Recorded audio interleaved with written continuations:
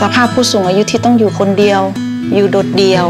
เราจะทำยังไงให้ผู้สูงอายุเหล่านี้มีความสุข มีสุขภาพที่ดี มันทำให้เรามองเห็นว่าเด็กเขาควรจะได้รับการศึกษาไหม เขาควรจะได้รับการพัฒนามากขึ้นยิ่งยิ่งกว่าไหมเอ่อโมฮัมหมัดก็เลยชวนพี่น้องในหมู่บ้าน ชุบชีวิตนาร้างคืนชีวิตให้กับพื้นดินพื้นนี้ครับ ทุกคนมีหัวใจที่เหมือนกัน หัวใจของการไม่ยอมแพ้ ไม่ว่าคุณจะเป็นใคร ขอเพียงแค่ลงมือทำเครือข่ายร่วมสร้างชุมชนท้องถิ่นน่าอยู่ จากสสส